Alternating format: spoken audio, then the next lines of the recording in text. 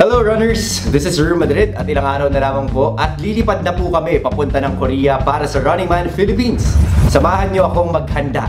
This is hashtag RMPH Road to Korea.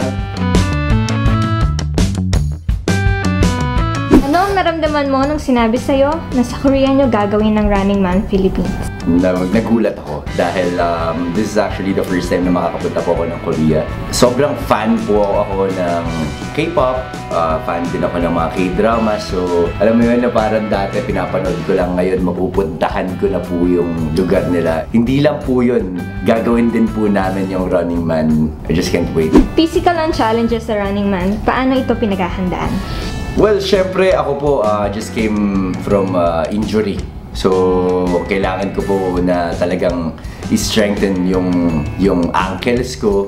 Lalo na puro takbuhan to, may mga challenges na talagang uh, mapapasubo talaga tayo. Ngayon, um, nag-therapy pa rin ako para at least maging matibay na po yung ankles ko. At the same time, nag-workout ako almost every day. Kailangan ko maging competitive dito for the first time sa buhay ko. Sino sa mga co-members mo ang gusto mong makateam sa games at bakit? Baka Glyza. Matagal na rin kami magkaibigan ni Glyza so nakita ko na kung gaano siya competitive. So, siguro Glyza. Sino naman ang ayaw mong kakampi? Buboy. Hindi, kumpare ko si Buboy.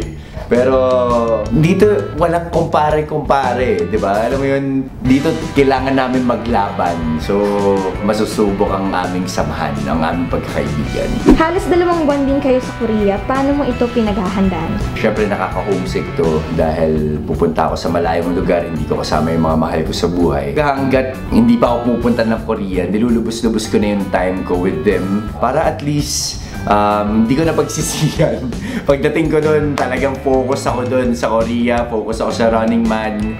Anong nilulook forward mo sa pagpunta doon? Si Jisoo. Hindi. sa totoo lang si Jisoo, gustong gusto ko siyang makita. Alam mo yung para sana makasalubong ko siya doon sa kalye. I don't know, alam mo yung parehas kami ng hinihingahan. Yung malaman ko lang na ganun, sobrang sarap na sa puso nun. Pero bukod doon, syempre, gusto ko makita yung set ng Running Man. Gusto ko makita yung kung papaano nila ginawa yun. Ah, yung mga napanood ko ng mga episodes sila. So, ang dami kong gustong gawin doon. Ano naman ang may papromise mo sa lahat ng kapuso na fans ng Running Man? Talagang ipapakita po namin dito na hindi kami mga pikon.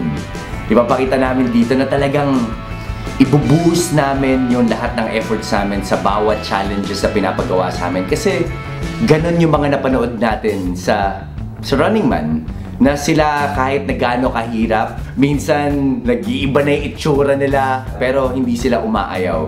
At ipapakita namin na ganun din kami. May twist din na, ng pagka-Pinoy natin. That's it for today's video. At para lagi po kayo updated sa Running Man Philippines, i-follow nyo lang ang at GMA Running Man PH sa Facebook, Twitter, IG, at TikTok. At gamitin din ang hashtag RMPH Road to Korea para kasama ka namin sa journey na ito.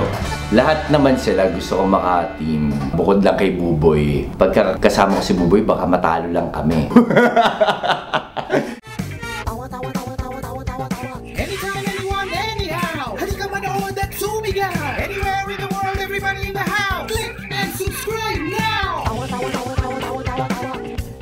You know!